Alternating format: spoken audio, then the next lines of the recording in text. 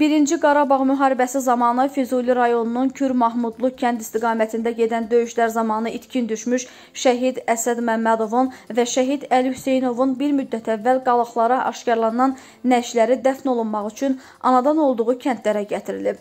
Şəhid Əskər Məmmədov Ağstafanın Eynallı kəndinin qəbristanlığında yaxınlarının məzarlarının yanında dəfn olunub.